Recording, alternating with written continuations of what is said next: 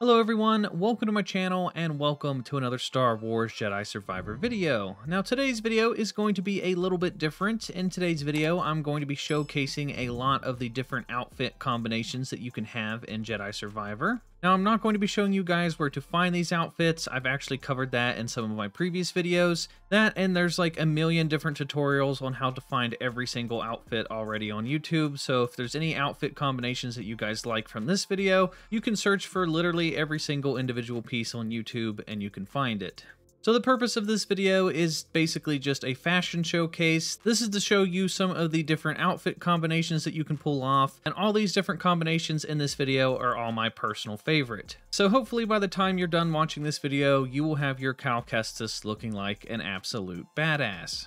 But before we get into the video, I wanted to take this time to thank today's sponsor, G2A. G2A is a global marketplace where you can find games for PC and consoles, DLCs, software, gift cards, and so much more, all for great prices. And G2A is currently running a huge sci-fi promotion with tons of discounts on some of the best sci-fi games such as Mass Effect, No Man's Sky, and even Star Wars Jedi Survivor. That's right, you can get Star Wars Jedi Survivor up to 28% off on G2A right now. But that's not all, G2A is currently running a Yoda Life Advice competition you can win yourself $100 and all you have to do is create a piece of life advice using Yoda speech patterns, post your entry on social media under the contest post, and then just wait for the results. And if you use the code G2A Sci-Fi Sale at checkout, it'll apply a 10% off discount on everything in your entire cart. So if you want to pick yourself up Star Wars Jedi Survivor at a discounted price, now is a great time to do so. So a huge thanks to G2A for sponsoring today's video,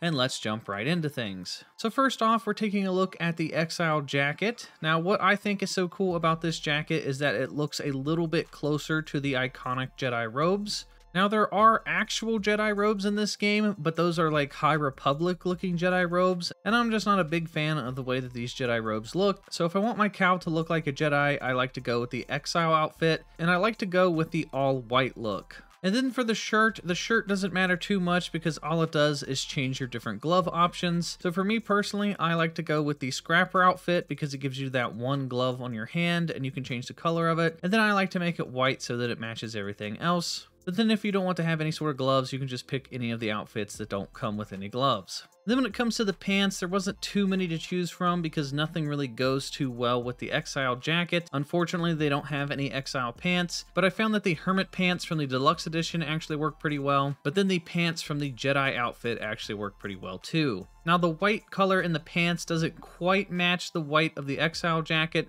but when you're running around killing things in actual gameplay, you can't really tell much of a difference. But if you don't like the look of the all white, I actually found that the dark blue Jedi pants go really well with the white top as well. But for me personally, I really like the look of the all white with the white glove and the blue pants or the white pants. There's something about this combination that makes me feel more like a Jedi. So for the next outfit, we're actually going to be taking our jacket off and then we're going to be putting on the training shirt and the commander pants. Now, I really like this combo because it kind of gives me a Luke training on Dagobah vibe, especially if you change the training shirt to like a tan or like a green color. And then I really like the commander pants with this option because I feel like that cloth hanging from your belt just really ties this outfit together. So this outfit proves that you don't necessarily have to have a jacket on at all times. Sometimes some of the outfits look a little bit better if you don't have any jacket at all. Not to mention that it also makes sense on certain maps like Jedha because why would you be wearing a long sleeve shirt or a heavy jacket on a giant desert planet like Jedha? Sometimes you just gotta let the arms breathe a little and to me, it makes sense that Cal would be wearing this sort of outfit on a planet like Jedha versus wearing like a big coat or something. And then for the commander pants, I like to leave them at the default color, but then I also like to change them to the dark blue slash black color because I feel like that matches really well with the white training shirt. And since we're already wearing the training shirt, we can go back up to the jackets tab and we can put on the bandolier. Now I found that the bandolier doesn't really work too well with too many of the shirt combinations, but I found that the bandolier does work really well with the training shirt. I personally like the black and the red combo, and then I like to make the training shirt just completely all black, Now for the pants, there's actually a number of different combos that work with this outfit. You can either stick with the commander pants and make them all black, or you can even go back to the survivor pants, and then there's an option to make them black, so that matches really well together. Or you can go for the old scrapper outfit that you had in Jedi Fallen Order, and make those black and red, and that works really well with the bandolier as well. And I really like the vibe that this outfit is giving off. It just kind of makes me feel like I'm a bounty hunter or something every time I wear this outfit. So moving on to the next outfit, the next one's a pretty fun one and it involves the bomber jacket. Now one of the reasons I really like the bomber jacket is because I think it looks good with almost every single color option that comes with it. I'm not a big fan of the green, but I like every other color option. I really like the tan version and then the black version. Those two are my personal favorite. And then for the shirt, I like to go with the scrapper shirt because it gives you the option of having that one glove on your one hand. Now you can go with the bomber shirt too because it also comes with some gloves, but I'm personally not a big fan of the bomber shirt underneath the jacket. I think that looks pretty ugly. So I like to go with the scrapper outfit. And if you don't want any gloves on your hands, I recommend going with the training shirt because it has some of the best collar options for underneath of the jacket. But for me, I'm sticking with the scrapper shirt. And then for the pants, I really like the look of the scoundrel pants that you get with the deluxe edition. Now I actually really like the dark blue option of these pants. I think it looks really good with this jacket. But if you don't have the deluxe edition and you don't have access to these pants, the bomber pants actually go really well with the bomber jacket. And then if you don't like the look of that, you can always go with the survivor pants and then give it the dark blue slash black color scheme. And then that goes really well with this jacket as well. So next up, we just straight up have the commander outfit. I really, really love the look of the commander outfit. This is one of my favorite outfits in the game. But for me, the light blue doesn't really do it for me. So I like to go with the black option. And then for the shirt, the commander shirt actually doesn't look too bad. But for me personally, I actually like the look of the Frontier outfit. I feel like the colors of the Frontier outfit actually go a little bit better with the Commander jacket, so I'm going to be sticking with the Frontier shirt. And then for the Commander pants, in this specific outfit, I like to make them black as well. So this is definitely a really cool outfit. I like having the option of having some armor. I really wish they would have gone all out on having some like stormtrooper armor or something, but honestly, I'm not too upset with this outfit. I think it looks pretty cool. So the next outfit on the list I like to call the cowboy outfit. Now we're going to be using the frontier jacket. Now I like both the default color with the tan and the red scarf, but I really like the black version with the red scarf. That one's my favorite, so we're sticking with that one. And then for the shirt, there's a number of different options. Now we can just stick with the Frontier shirt because they're designed to go together and it actually looks pretty good. But I personally like the Scrapper outfit yet again because it comes with the glove and it comes with red sleeves and that dark blue slash black looking glove. I feel like it does a really good job of bringing the outfit together. And then another good combination with this outfit is the Survivor shirt, and honestly, pretty much any of the colors kind of go well with this outfit, but I'm going to be sticking with black. And then for the pants, you can stick with the Frontier pants if you want them to look like a cowboy, but for me personally, I like to go with the Survivor pants, and I like to make them look either black or tan. And I think one of the reasons I really like this outfit is because it reminds me of Cobb Vanth from the Boba Fett show. And I think one of the reasons I really like this outfit is because it makes me feel like I'm the sheriff of the town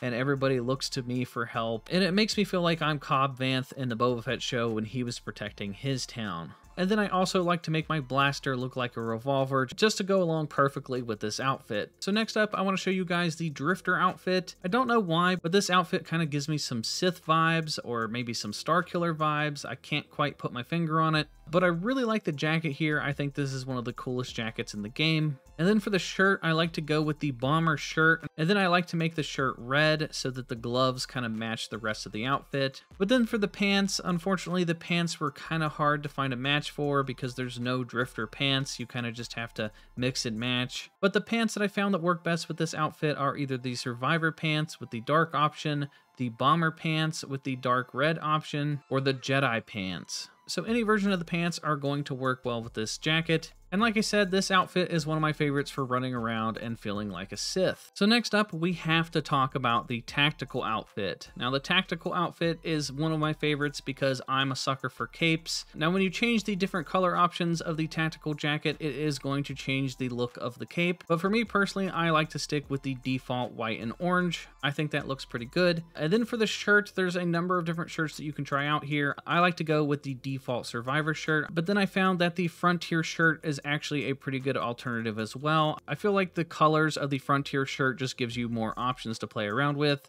so we're going to be sticking with the Frontier shirt. And then I like to go with the commander pants again. That way I have both the cape and this little side skirt at the same time. I think that looks pretty cool together. But if you don't want to use the commander pants, then a good alternative is the survivor pants. But for me with this outfit, I'm going to be sticking with the commander pants. So next up, I want to showcase the wanderer outfit. Now this outfit I think is pretty cool because it comes with a backpack and this mini scarf slash cape. Like I said, I'm a sucker for capes. So anytime there's an outfit that has any sort of cape, I'm a fan fan of it. Unfortunately though, I'm not a big fan of all the different color options for this outfit, so I'm just going to be sticking with the default color. And then for the shirt, the Wanderer shirt is actually okay, but for this outfit, I like to wear either the Frontier outfit or the Survivor outfit. And then for the pants, we're keeping it simple and we're just sticking with the Wanderer pants, and I feel like this is a pretty good and complete outfit. And then for the final outfit that I want to mention in today's video, we're going to be keeping it pretty simple, and we're using the default Survivor outfit